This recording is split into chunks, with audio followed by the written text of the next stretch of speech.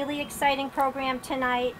Always, always, always, the hardest part of my job, and probably Roxie's too, is technology. So we're over the hump, we're ready, and I wanted to welcome Roxie Zwicker. We are going to have her talk about ghosts from the coast. She is your guide tonight to look at the water, turbulent waters of the local shores and the creepy happenings along our coast. We're going to look at haunted lighthouses and other tales and legends for this area. It should be really fun. I don't want to take up a lot of time. I do want to just thank BCTV for their continued support of filming our programs so people can see them afterward. And it's such a great partnership. So thank you, BCTV, for all you do for the public library. Welcome, Roxie. Thank you, Sharon. Thanks so much. Um, it's so nice to be able to see you. Last year, when I did my presentation, we were all in little tiny boxes. Yes. So this is really comfortable It and wonderful. nice. And thank you to all of you for coming out this evening. Um, so I run New England Curiosities over in Portsmouth, and I've been doing ghost tours of the seacoast for about 21 years. And you're going to hear some of my favorite haunted places on the coast. And if you're not a big believer in ghosts, all that I ask is that you have an open mind. It's going to be like a little bit of a virtual tour as we make our way around. Um, and thank you for your patience while we were setting up. All right. So, what is it about ghosts that intrigue us so? And why are so many stories connected to the sea? I mean, that's how we got here. That's how they came to the New World was via the sea. And a lot of us tend to romanticize what it was like to be out there sailing across the ocean, coming to this new world. But some of the things that people have encountered over the years, everything from storms to islands popping up out of nowhere, have really left a lot of ghost stories and tales of legends and lore in their wake. And I think there's always an imagination sometimes when we look out to the sea and wonder, is there anything still out there? Where have some of these ships gone? Where have some of these ghost stories gone over the years? So the sea is very intriguing and all the mysteries therein. Of course, one of the things that we often see as we make our way around New England in the old burial grounds are so many gravestones that tell us stories of those who had gone out to the sea and did not return. So here is a beautiful gravestone. This one's actually in Newburyport with which hope we have as an anchor of the soul. So here we have a sea captain's daughter who was lost at sea and she is leaning on an anchor and it's funny how there is that double meaning that you have here and she's pointing to the hourglass to remind you of how much time we have left. This is a gravestone that is up in Rockland, Maine. I actually visited this past winter and it's for Captain George Jordan. And really hard to tell from some of these gravestones because they don't always give you all of the information or all of the story. But Captain George Jordan actually was lost at sea along with this ship. It was called the Pacific. And it was really just days after the ship had left Liverpool on its way to New York that it was lost at sea. And it was about 50 years later, remnants of the ship were found on islands and there were no crew members that had survived. But there's really not a whole lot on these gravestones to tell you. And I always find those are the stories that I'm always digging into. Just outside of Portsmouth is a tiny island of Newcastle. Newcastle actually used to be part of Portsmouth right up through the 1680s. And one of the things that I love about Newcastle is all you have to do is just do some beach combing and you're going to delve into some of the maritime history and some of the lost stories that are over there. So back in the 1970s and 1980s, a father and son dive team were diving off of Newcastle Island along the Piscataqua Channel. And for about 15 years, they were pulling up all sorts of fascinating remnants that essentially were embedded right in the seabed.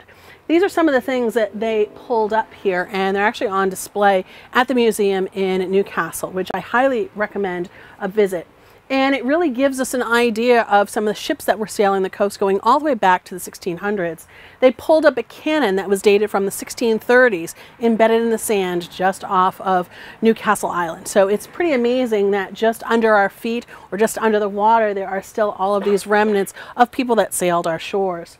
One of the things that people often ask about are the animal bones or the livestock bones.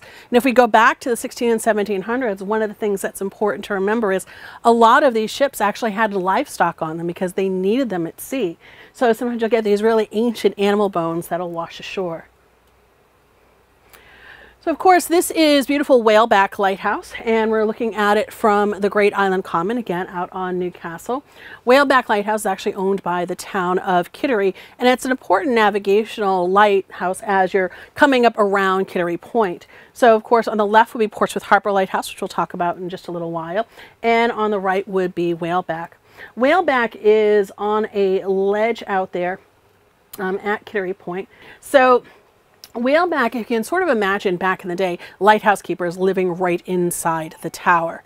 You know, there was usually a lighthouse keeper and an assistant. And it was a really difficult life. And there always had to be someone that was on the job. So here is a look at Whaleback Lighthouse from Fort Foster in Kittery, which there is said to be a woman in red who wanders the beach of Fort Foster at night. She's described as coming out at sunset. And again, she's right in the shadow of Whaleback Lighthouse.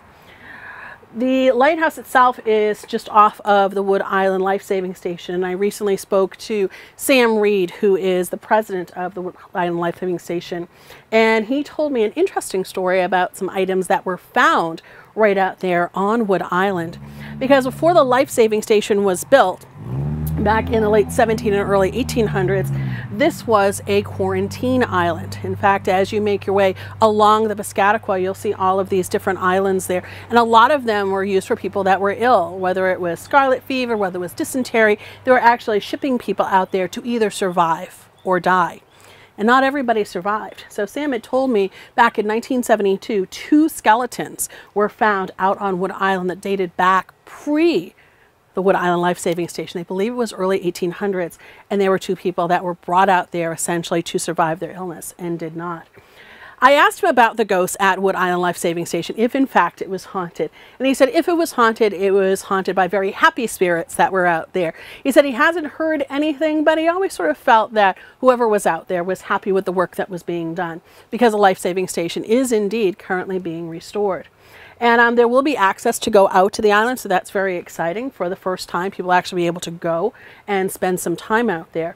But sort of the purpose of the Wood Island Life Saving Station was, back in the days before the Coast Guard, any mariner that was in distress, essentially, these men would climb into rowboats, row out to them in the worst of conditions, and try to save them. They even worked with some of the lighthouse keepers over at Whaleback. So if you can sort of imagine what it was like to be a keeper, this story is from 1886, and the lighthouse keeper that was out there at the time was facing a severe storm. While it's beautiful on a bucolic day like that, back during that severe storm, waves were washing up and over the top of the lighthouse. It was so bad. In fact, all of the glass in the lantern room and the glass in the tower were broken. The keeper and the assistant were washed out into the icy waters of the Atlantic Ocean. Only one of them survived, and unfortunately, the one who was lost was the head keeper, and he left a young family on shore. Today, the lighthouse is automated. It leaks like a sieve. However, a lot of mariners, even today, fishermen, lobstermen, while they have all sorts of modern navigational equipment, satellite, Loran, they still do use these lighthouses, even as day markers, to find their way along the coast. And it's really kind of funny when we go back to the early days of the lighthouses, back in the early 1800s.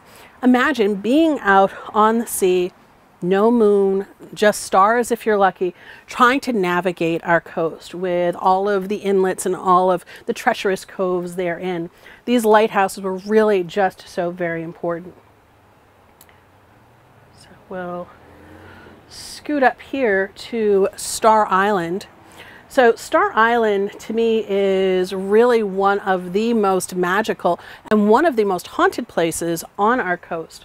I've been very lucky over the years to have been able to go out to Star Island and hear a lot of stories from people that actually work out there and volunteer out there. And it is like stepping back in time. even at the Oceanic Hotel. There's no phones in the rooms, there's no TVs. It's just you, the ocean air, the legends and lore of the island, and whoever happens to be walking by.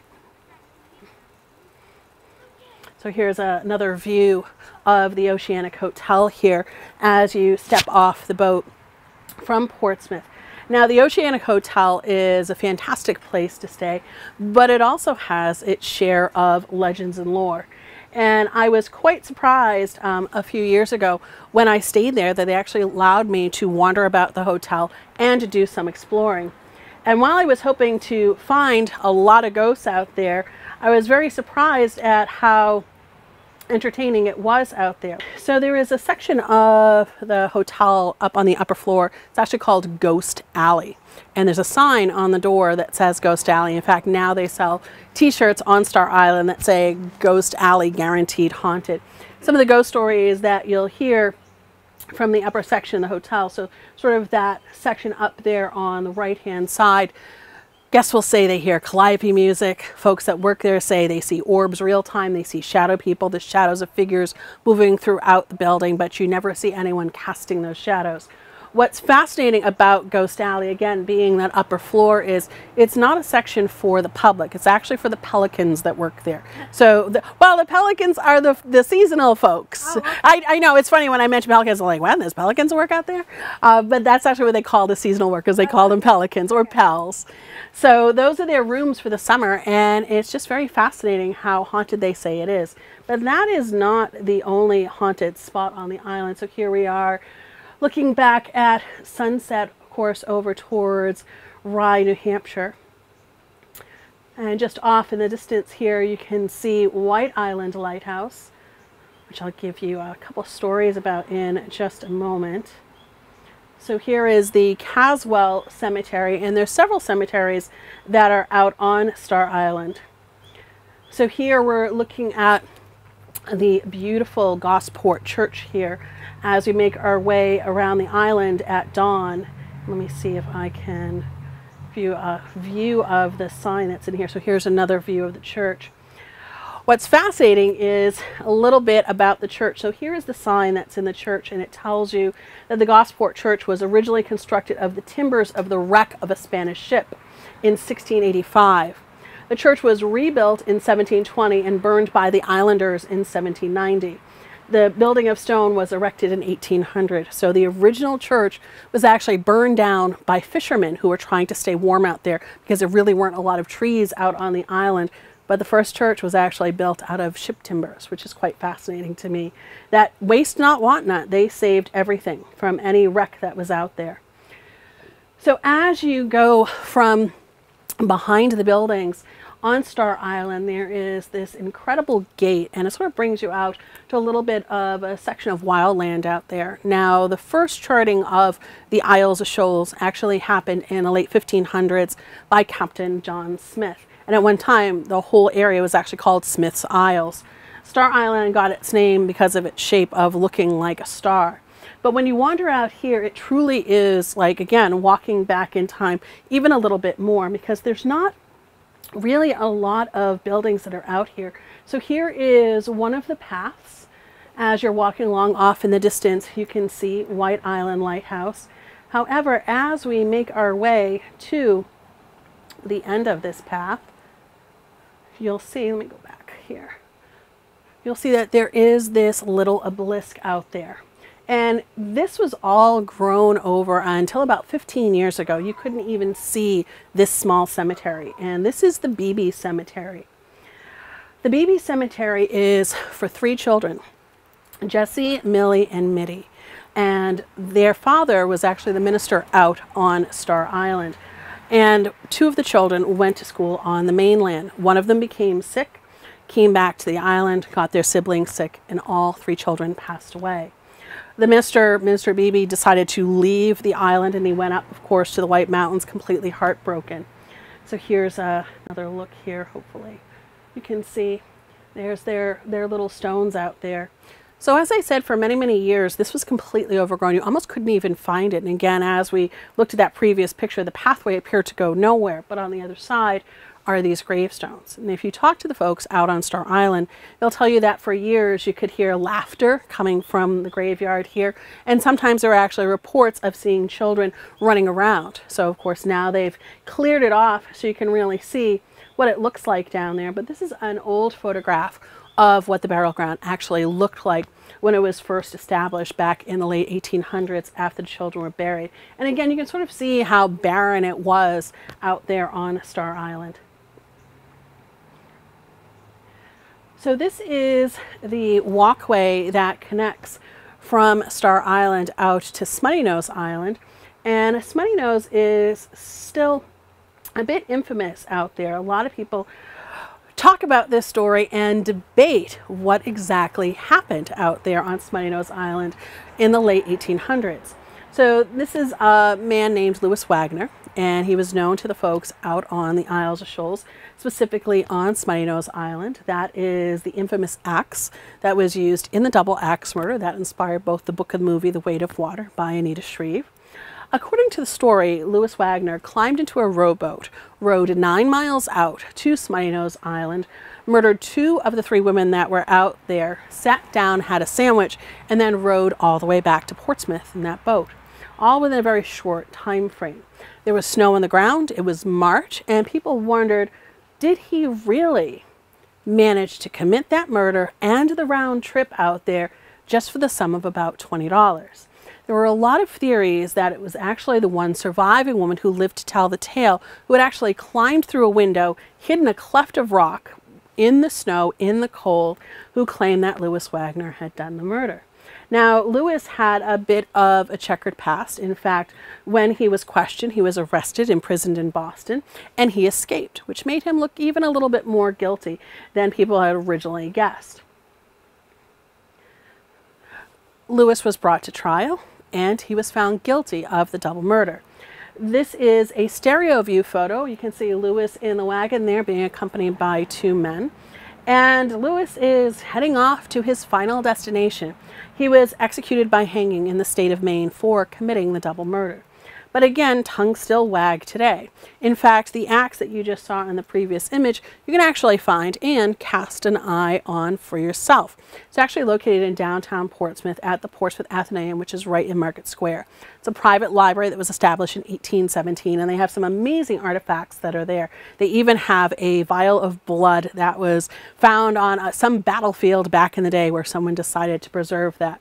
But the axe is on display, and when I went out to the Star Island, um, probably about three or four years ago, they were actually having a weekend symposium just on the axe murder, and there were a lot of different theories that were being explored. Um, one of my favorite questions kept coming up a lot, which was if we have the axe that was used in the murder, and today we have DNA evidence, why can't we take the axe and figure out whose DNA is on it? Well, the problem was in the late 1800s, when the axe was taken off the island, it was put on the back of a boat and it was washed with salty seawater. So this was back in the days before CSI. So by the time the axe got to Portsmouth, it was totally clear of anything that it could tell us. But it still sits there in the Athenaeum for everyone to view. Roxie, can I add something to that? Sure, absolutely. So we had a program here at the library a few years ago on um, the Smutty Nose murder. Mhm. And um, Dennis Robinson has done extensive research on it. So there's a, a very factual, well-researched book that we have, and it's called Mystery of the Isle of Shoals, Closing the Case of the Smutty Nose Murders. Absolutely. So I wanted to just preface your Absolutely. So if you can't sleep tonight because you came to this event, then grab that book and you can stay up all night and read it. It's, I mean, Dennis is great. No, it is. It's a, it's a, it's a great book, but I'm going to give you a little homework beyond that too. Okay. You want to go to the Harmony Grove Cemetery in Portsmouth where the two axe murder victims are actually buried. So here they are, Anethe Mathea and Karen Ann Christensen. Um, a lot of people will contact me looking for specific graves in Portsmouth, and I don't always know where all of them are, but these two often are ones that people want to go and sort of connect with and pay their respects. You'll notice that they have the broken rose on each, and that's to signify a life that was cut short. As you can see, people leave trinkets and notes and little memorials on the stones themselves.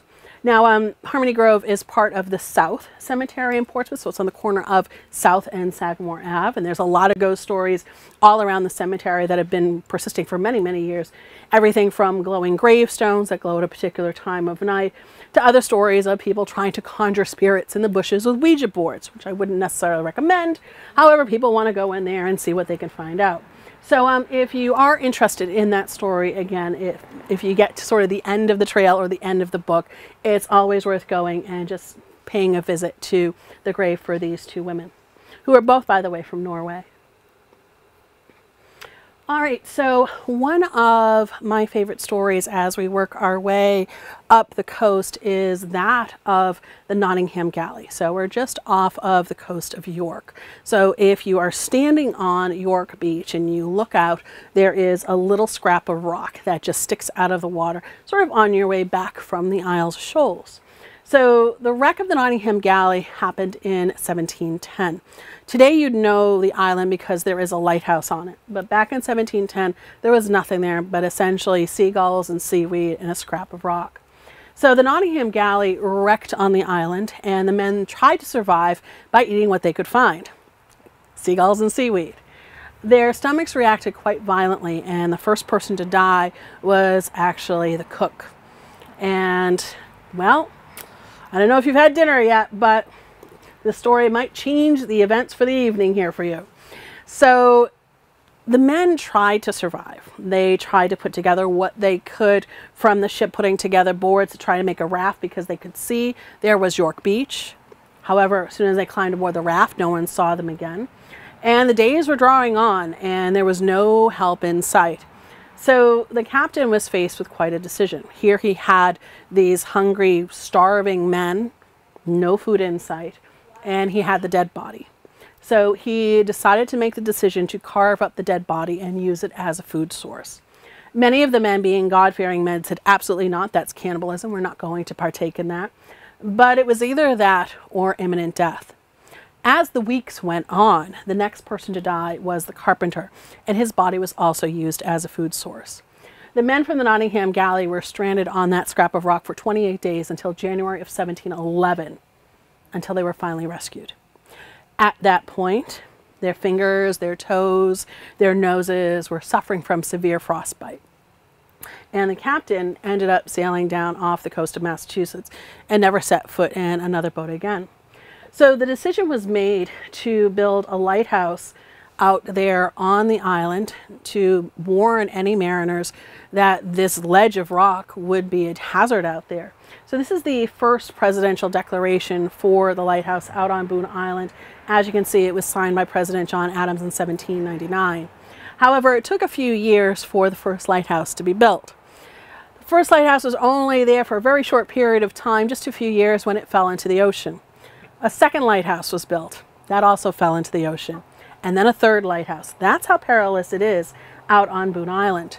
So a third lighthouse was built out on Boone Island. It's one of the tallest in New England, and a lot of people say that it is one of the most haunted lighthouses in New England as well. The stone is dovetailed together, and that really helps and reinforces when the waves are rolling over the island or even the boulders are rolling over the island during storms that the lighthouse actually braces upon itself. Now, there are a lot of strange tales that come from Boone Island. One of my favorites is from the 1880s, and there was a lighthouse keeper family out there at the time. And it just so happens a storm was rolling in, and the lighthouse keeper knew his only way off of the island was to make sure that his boat was secure.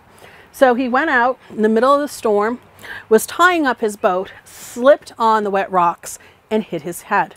His wife had seen what happened, and she went out to assist him. When she went out to assist him, she realized that he was unconscious.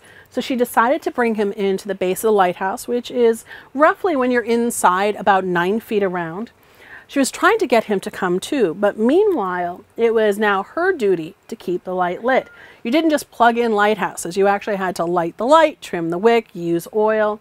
So she climbed the 167 spiral staircases to the top of that tower for the next eight days to keep it going. All the while, sitting back down on the bottom of the lighthouse trying to get her husband to come too. On the ninth day, the storm had blown out, she had run out of fuel. The mariners were going by the lighthouse and they noticed something did not seem right out there. The light was out and nobody was around. So they clambered onto the island and went right inside the base of the tower, and there she was, still holding on to her husband's hand. However, she didn't realize that when he hit his head, it was actually fatal, and he had died instantly. And for those eight days, she was holding his essentially cold, dead, frozen hand. She wasn't even taking care of herself during that time, and when she was taken off the island, she died within two weeks from exposure. So as the years went on out at Boone Island, this photograph here um, is from roughly around the 1950s. You can look in the distance way off, you can see the land, and that, of course, is York Beach. And even further than that, you can see Mount A or Mount Agamenticus there. So now you have a little bit of a perspective on the island out there. This is one of the lighthouse keeper families um, in the late 1800s, and it really was a family affair. Um, one of the lighthouse keeper's children they actually still have her journal, and she could see the beach again in the distance. And she wrote in her journal that being on Boone Island, she felt like she was being kept prisoner from the rest of the world out there. Celia Thaxter, who I'm sure many of you are familiar with her name, of course, she's associated with being a poet and a gardener out on the Isles of Shoals. She wrote that Boone Island was one of the most forlorn places that she could imagine. So again, here's a little bit of information on the lighthouse. So it's built in 1855. The stone tower, built of granite, is 133 feet high. It's the tallest lighthouse in New England. It's 25 feet in diameter at its base and 12 feet in diameter at the top. What's interesting about being on the outside of the lighthouse at its base is again when storms roll in they throw up all these rocks that you can see on the island up against the base of the lighthouse and it's pockmarked from all the storms that are out there. So again here's a, uh, another view um, again about 1950s or so of the island. However I don't know if all of you were around, and you don't have to say if you were, during the blizzard of 1978. The blizzard of 78 really wreaked havoc on Boone Island. So much so, every single building that we just saw in those previous images were all washed into the ocean. So that is what remains out there on Boone Island. In fact, the Coast Guard had to go out and rescue people by helicopter during the blizzard of 78. The island floods all the time, and the only way to keep that tower lit is actually by solar panels. You can't even run electricity out there. So who's telling the ghost stories out on Boone Island? The Coast Guard. The Coast Guard say that cats and dogs refuse to go in the tower. They say that sometimes you can hear a woman's voice shouting across the island and there's nobody there. Also, a little bit stranger than that and a little bit more grim is sometimes migrating birds will get lost in the storms and they can't see the lighthouse, so they'll smash into the tower. And sometimes when the Coast Guard go out onto the island, they're knee deep in dead seabirds that have lost their way and gotten disoriented and crashed into the tower. But if you are standing on York Beach, you want to look for a little matchstick, and that little matchstick on the horizon is Boone Island. So New England is home to over 5,400 known shipwrecks. So here's a little close-up on a National Geographic map that shows you where some of those are along our coast here. So going from uh, Rockport to York Harbor. And they're being discovered still all the time, which is always amazing how um, we think we, we know, you know, some of these stories and yet they keep unearthing themselves. So this is down on um, York Beach. I'm sure uh, a lot of you remember in the news a few years ago, after a storm, the sand had receded so much that embedded in the beach was actually a ship. And it was determined after further examination that it was a sloop. So here you can see what it would have looked like. And here's a closer image. This photo is actually from the Portsmouth Herald and you can see there it is. And if you go down to the beach now, it's still there, but the sand has now covered it back up. So know that as you're walking on the beach down there that there is actually a ship that is embedded underneath all of that sand. So it has to be the right conditions to reveal this. And um, again, even as I was mentioning earlier in Newcastle, sometimes we just don't know what relates to our maritime history that's embedded, again, down in the seabed or even sort of lost in the sand there. But it is um, pretty well preserved, and uh, we'll just have to sort of keep an eye to uh, the next major winter storm to see if it chooses to reveal itself yet again. So we're going to go up to um, for this next story. And this is one of my favorite stories, one of the earliest stories that I learned on the seacoast as it relates to a ghost ship. And um, just last year at this time, I actually stopped over to the location where the shipwreck had actually happened. And um, the folks that were there were all too eager to tell me ghost stories from the property and also that related to the area where the ship had washed ashore. So Kennebunkport has um, just such an amazing maritime history. And when I went to take this um, sequence of photos, I tried to take it almost on the same exact date of the shipwreck. And it was just as stormy as I could have imagined. But it goes back to the early 1800s, and it was a ship called the Isidore. And you know, typically people were pretty excited for ships to be going out because this was a money making venture. You know, when they were building ships, imagine they were thinking about making their money back tenfold and all the places that these ships would go. So normally people were pretty excited about shipbuilding, but when they were building the Isidore, nobody was terribly excited. And something definitely seemed odd from the very first day. Um, it was written about the air seemed to be very heavy. There was no whistling. There was no pleasant conversation essentially they just had a job to get done, and it was to build the Isidore. As the days wore on and the shipbuilding was becoming complete, those who had signed on to be on the crew of the Isidore were starting to get a little bit nervous. Um, in fact, they were saying that they were seeing premonitions.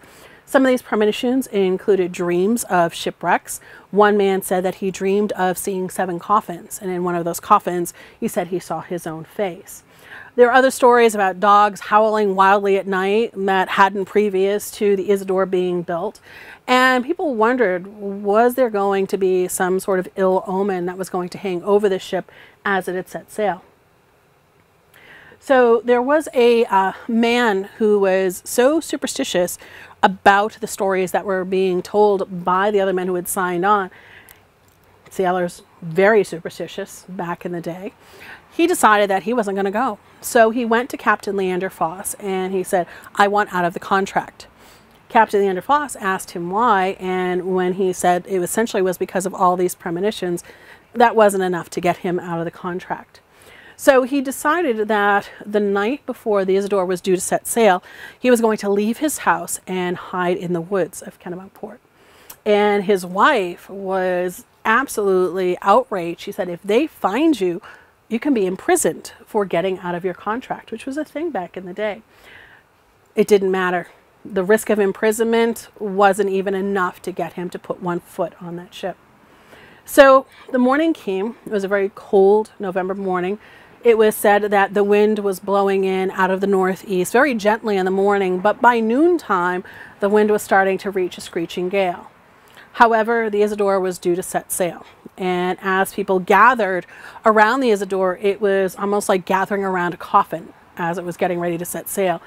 There was just a very ominous feeling by the people in town. In fact, one of the crew members came running down to the docks, and the other crew member said, Oh my God, you almost missed the boat. And he was heard saying, I wish I had. So he climbed aboard the Isidore, and the Isidore set sail with a load of ship's rigging heading down the coast and the storm really was blowing in and sort of you can sort of imagine just going from Kennebunkport just down to Rye. So Rye, New Hampshire was as far as they made it and Captain Foss decided, you know what, maybe this isn't such a good idea. And he decided to turn the ship around and head back to port in Kennebunkport. So as he did, he ran into this area here.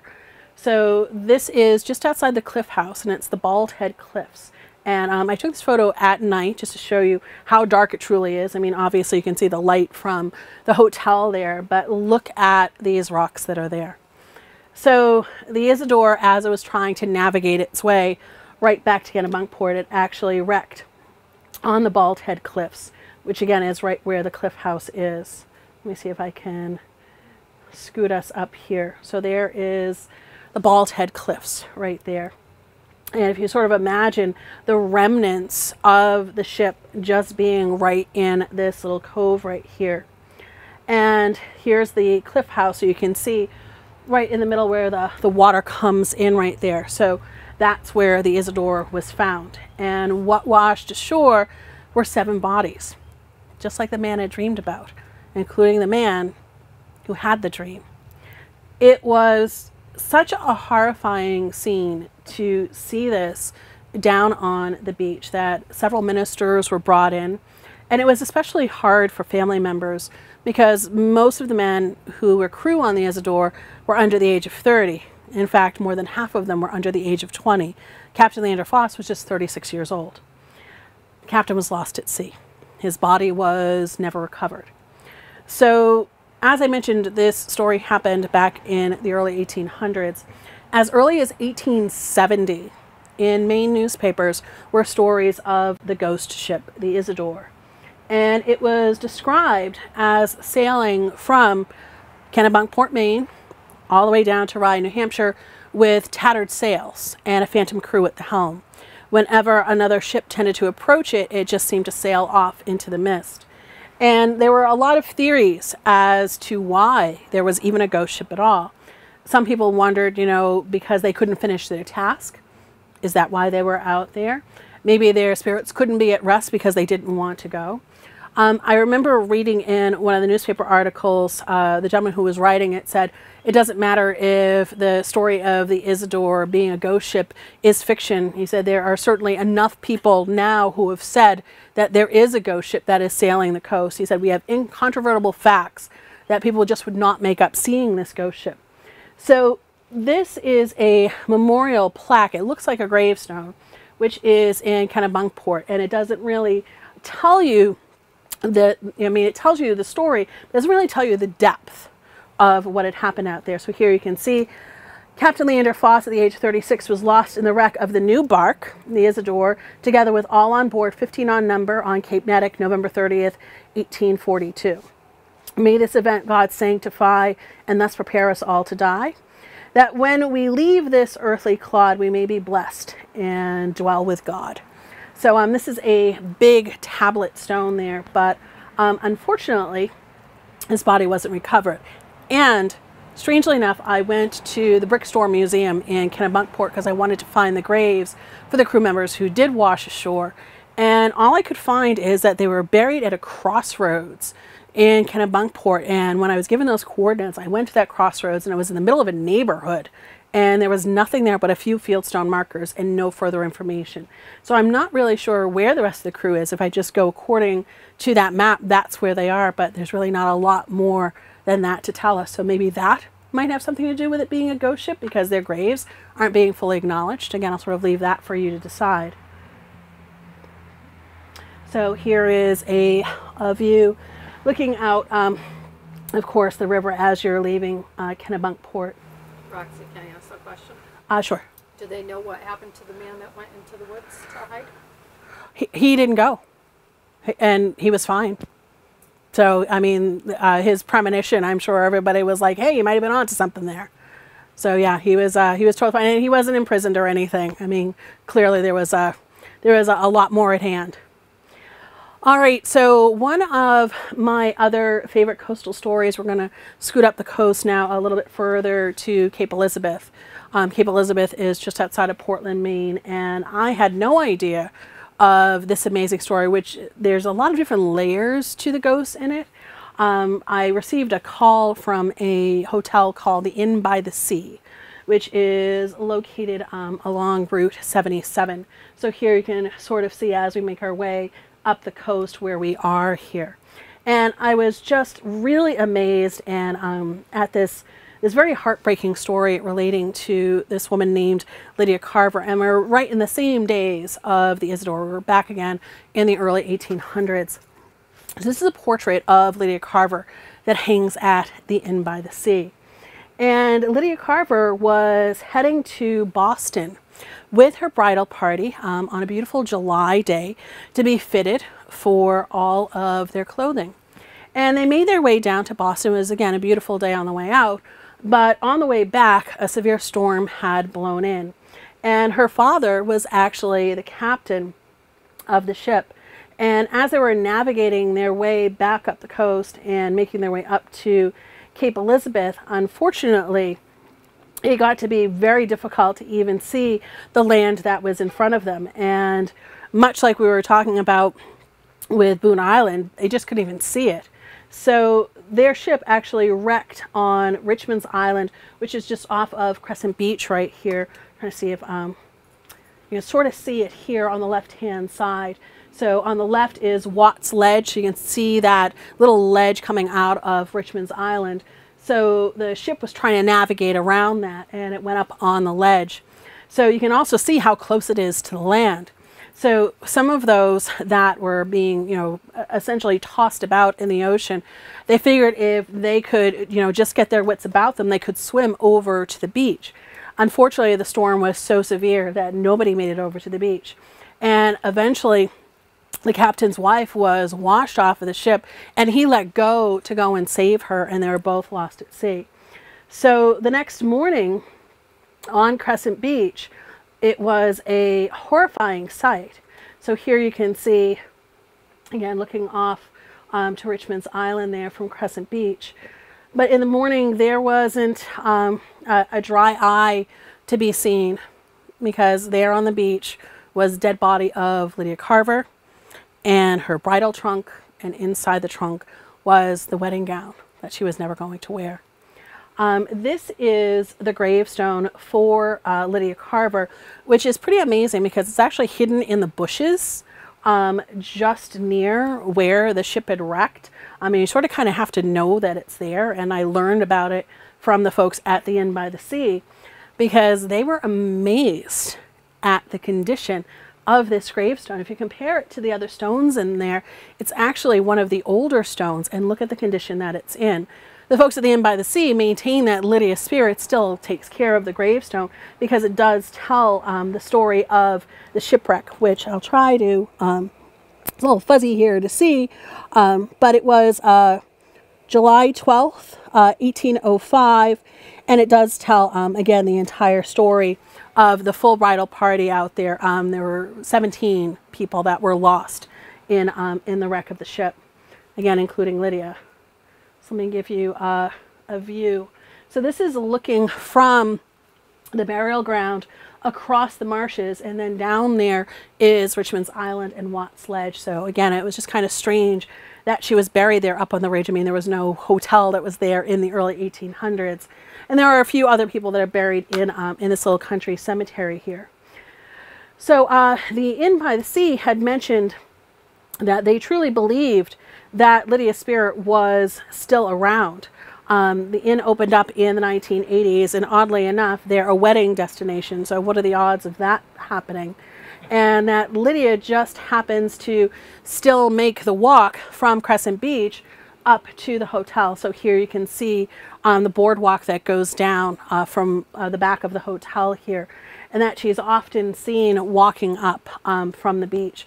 And there's some interesting stories over the years that have come from guests to the Inn by the Sea who have had some strange encounters with Lydia. There was a couple who was walking on the beach and the gentleman had looked out to the island and he said that he saw a ship wrecking out on the island. It was sort of coming up between the mists and he was calling for his wife to come and see what he was seeing and he kept yelling for her across the beach and finally she came up and she looked out and she didn't see anything and he explained not only did he see something out there but he thought he heard the cracking timbers of a ship. So him and his wife went back up to the hotel. They went to the front desk and explained what he had just experienced. And the strangest thing, um, call it coincidence if you will, the strangest thing was as they were explaining the story to the staff, this gentleman's name was Mark Hardy, but his wife's name was Lydia Carver Hardy. What, what are the odds that his wife had the same name as Lydia Carver, who perished on the beach? So they found that to be a, a very fascinating story, and maybe again there was a, a little bit more there. So here you can sort of see the walkway that goes down um, from the back of the hotel. There are stories that uh, brides sometimes have these odd occurrences. Here's a back of the hotel here at uh, Crescent Beach. You can see the pathway where it comes out. And the brides will tell stories of seeing a ghost bride walking through their suite. Uh, they've talked about having dreams, seeing floating wedding gowns, all sorts of strange things that they could not explain. Um, and when I asked the hotel where they actually got the portrait of Lydia Carver, they didn't even know. They had no idea where it had come from. They said it just sort of showed up one day. The cemetery that she is in is on the right hand side, just past that building that's right there. So I did an event at um, the Inn by the Sea. It's probably 15 years ago. And an older woman from the Cape Elizabeth Historical Society had come out and she had told me that back in the 1960s, um, her and her daughter were riding along Route 77. So this is right near the Inn by the Sea. And she said, as they were driving past the field, they noticed that there was a woman standing on the side of the road with her hand placed on the back of a deer and she was wearing this white wedding gown. And they said as they pulled up, they slowed down and got a really good look at her. And she was just standing there very silently. And then they said as they passed her, they looked in the mirrors and then turned around and she was gone practically instantly. So I found it very interesting. Not only is she at the inn, she's on Route 77 and she's also down on the beach as well. So a lot of people um, asking what my my favorite maritime story is and I'm just gonna uh, take a quick left turn and then um, I'll, I'll give you a really great local ghost story. But um, this I just have to share with you uh, Sluman Gray and his misfortune at sea. Um, it's a story that actually originated in Connecticut in 1865 um, Sluman Gray was a prosperous whaling captain from Lebanon Connecticut. At 51, he took his wife, Sarah, on a voyage aboard the sailing ship, the James Maury, with three of their children. The ship was off the coast of Guam after nine months at sea, and Sluman suddenly took ill with intestinal inflammation and he died. Rather than burying her husband at sea, Sarah Gray decided to preserve her husband's body in a cask of spirit. So she actually put him in a cask of alcohol and she wanted to take him home to be buried in this cask. The ship then turned north with the whaling fleet to hunt for whales in the Bering Sea. They encountered the Confederate ship, the Shenandoah. Captain James Waddell spared uh, Sarah's family death, but captured the ship and took it and the pickled captain to Honolulu, along with 222 prisoners that were placed on board. Sarah, the children, and the pickled captain finally made their way back to Connecticut in March of 1866. He was buried in Liberty Hill Cemetery, and according to local legend, Sluman was buried in his cask. There is no record of his wife buying a coffin or paying to have a carpenter build one. Now, one of the reasons why I wanted to share this story with you, even though it's from Connecticut, there are two cases in the state of Maine.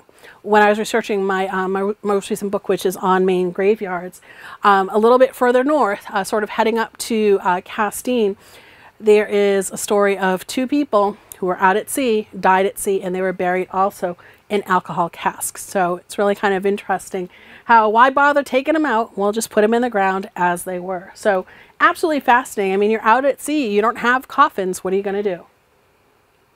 All right. So let's get to our last story, which has a lot of different layers, and you might recognize this lighthouse. Like I said earlier, we're going to come back to Portsmouth for this story. So this is Portsmouth Harbor Lighthouse. Um, when I first started doing ghost tours a long time ago, the first ghost tours I was doing was actually um, as part of Portsmouth Harbor Lighthouse. I was on the board of directors and we were trying to think about some sort of fun fundraiser that we could do. So I proposed doing ghost tours in uh, New Castle, talking about the Isles of Shoals and things like that. And um, I had no idea how many ghost stories there were uh, on the coast at that time and how, again, the Coast Guard were going to be involved. The light station itself is pretty notable. Um, it was the first lighthouse station established north of Boston, Massachusetts in 1771. So it was one of the colonial lighthouses.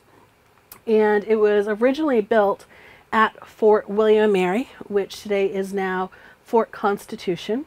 You can see here um, in this image in the back that is Kittery Point right there. So the first lighthouse was actually built inside the walls of the fort in the 18th century.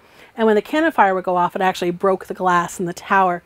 So they decided to move the lighthouse out to its current location that you see here. And the second lighthouse was built out of wood in the early 1800s. It was um, uh, just as wide as the base that the current lighthouse is on, and it was actually quite a bit taller. But being so exposed, even at the end of the Piscataqua River, after about 50 years, it was starting to show signs of age and wear. So the current lighthouse that you see was built quite ingeniously. It was built right inside the second lighthouse. The cast iron panels were shipped down from Portland, Maine, and it's lined with brick inside. And when the construction was complete, they took off the shell and you have the light that you see here today. The building on the left is the oil house, and you might have noticed in the last picture the door was actually on the oil house and it had just been restored.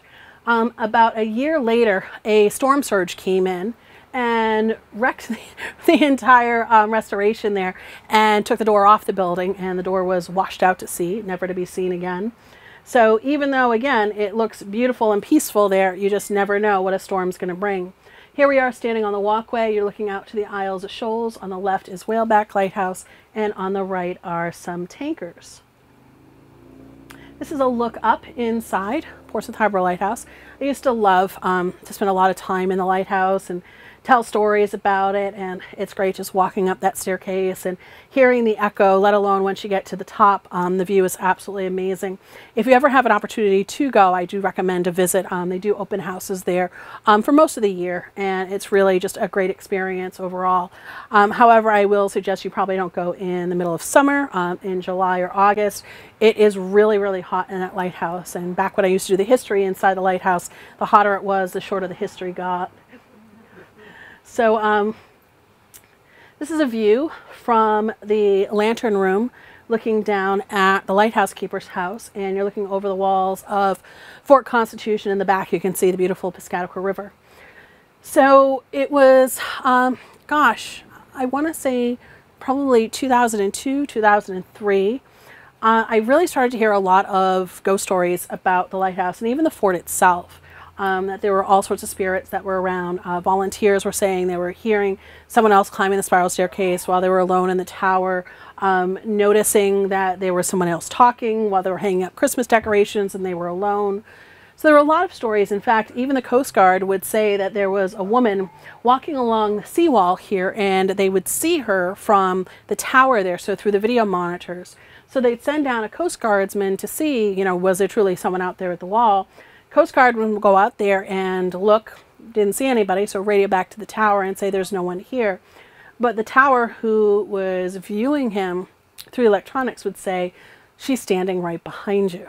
So the guy at the wall couldn't see her, but through the tower they could. Now, does the Coast Guard have a reason to make this stuff up? I don't think so. I mean, they're working really long hours. I totally get that. Um, but I really don't think there's a need to make up some of those stories because they have so many of them. So here's another view of the keeper's house. So there were just so many amazing stories um, going on there that we actually decided, um, with permission of the Coast Guard, to do an overnight investigation. And um, I did the investigation with a group called the New England Ghost Project, and they're out of Massachusetts. Um, Ron Kolek and Maureen Wood, who I've, I've known forever. And we decided that even though we had had some great experiences inside the tower, that before we're going to leave that beautiful August night, we're going to go inside the keeper's house here. So we were up in the hallway there where you can see that fluorescent light. It was probably about 2 o'clock in the morning, and the medium was channeling a spirit that was there. And she said the spirit was very friendly, someone who, when you came to the lighthouse, you were like telling her story. Um, she just really enjoyed being there. She had passed fairly recently. So I was very interested and also very intrigued as to who she was channeling.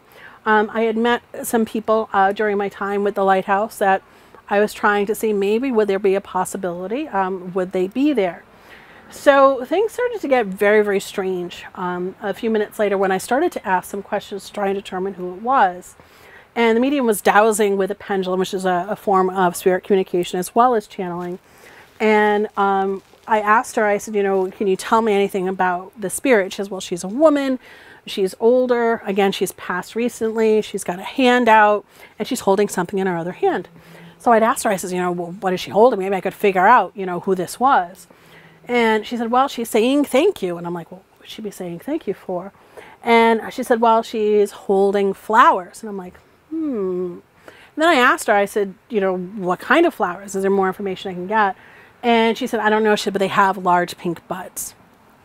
So for me, um, my just all of my spidey senses were tingling in that moment. I, um, you know, I've always been a believer in ghosts, and there have been these moments in my life where I'm like, there is no doubt there's spiritual activity out there. This was another one of those moments.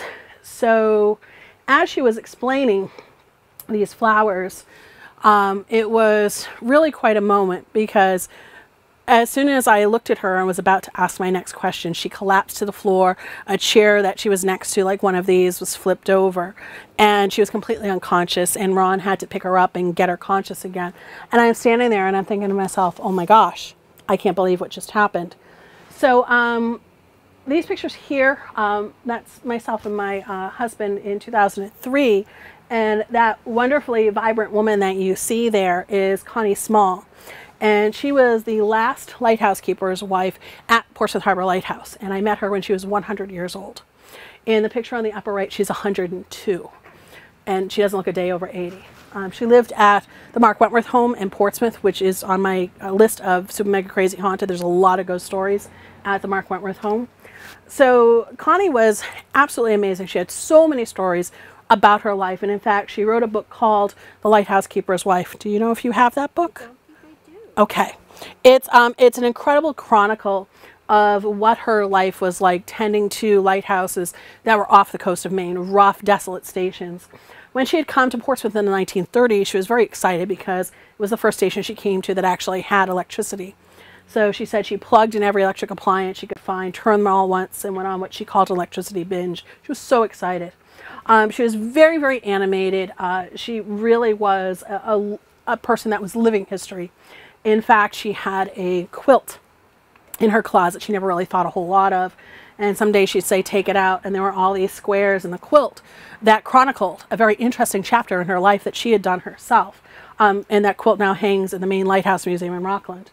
And um, there's a little square on there that talks about when she was um, stationed up at St. Croix Lighthouse and it was December of 1942, of course, during World War II. And uh, Washington had sent dignitaries up there to find the perfect Christmas tree to bring back to Washington, to put in front of the White House. And she said it was one of the most amazing things that they came unannounced at a time when nobody even was thinking about the holidays because they were thinking about the war and their relatives and what was going on. That, that really was sort of this beacon of hope, very much she related to because she dealt with lighthouses. So um, Connie was absolutely amazing. I could, I could go on with so many stories about her. But um, Connie passed at the age of 103. And though I'm not related to her, I knew her for a couple of years. And she was like one of those people you're like, I'm never going to meet anybody like this again. So um, I had gone to her funeral when she passed. I was the last person at her coffin. I had a picture of the lighthouse. I wrote my goodbyes. And um, on the way, I picked up a little something for her. Um, I knew the lighthouses that she kept on the island station, she'd bring out dirt on rocks to try and grow gardens. Um, she was very, very tenacious. And um, I knew that she was famous in her book for her rose gardens.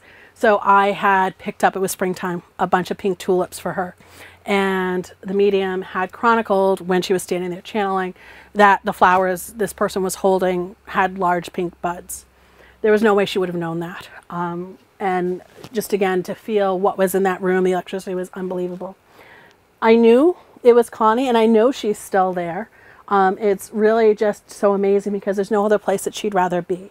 Um, she lectured about lighthouses on her own in her 80s all around the country. So i always sort of feel two things when i tell her story. First of all like she's here alive again just telling her story and bringing up her name. It's like she's with us. And yeah there's no place that she would rather be so um, that night, oh, let me go back a second here. That night, as we finished up, um, give you another picture of the lighthouse here, just to finish up that story.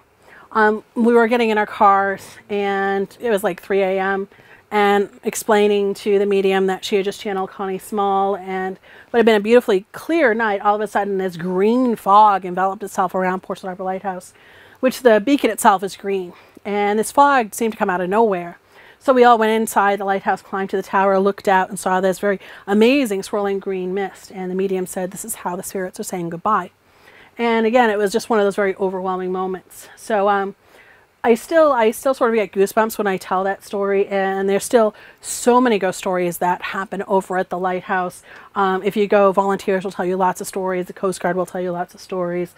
Um, but that's sort of my my personal experience over there. And again, she was absolutely uh, such a delight. Again, I totally recommend um, her book. It's actually uh, back out again. I think it's the University of New England Press that put out her book. Um, and there she is with a flying Santa with a card that I had made for her on Christmas Eve. Um, I really do miss her. Um, I take a lot of the inspiration for the work that I do from her. Um, so I also have uh, books as well. I actually do have a few of them with me. My newest is The Maine Book of the Dead. Um, I will be writing a book at some point um, in the future about lighthouses. I will be writing about Connie Small again. She's in my Haunted Portsmouth book. she's buried up in Machias, Maine. Um, so I'm going to go up and visit her grave and pay my respects. It's been a very long time, um, but I know she's she's still down here. So I also do a, um, a radio show you can find on um, iTunes, Buzzsprout, SoundCloud. Um, it's called Wicked Curious. So if you want to hear more ghost stories, you can definitely check that out as well. And um, it's been a very interesting evening technology-wise, but somehow we've gotten through it. Um, so you can find me also on um, Facebook and Instagram. Um, I'm Roxie ZW. And once again, I just want to thank the library for having me back and um, for helping me um, sort of you know share some of these stories, which aren't always frightening. Um, sometimes they just make us think. And I think there's, particularly with the Connie Small story, there's this whole notion that you don't have to be afraid, that maybe there is some essence of us that goes on. And Connie Small was alive with us for just a few minutes. So um, thank you all so much for coming. Um, if you have any questions, I'd be happy to answer those. Um, stay spooky and have a great rest of your season. Thank you so much. Thank you. Thank you very, very much.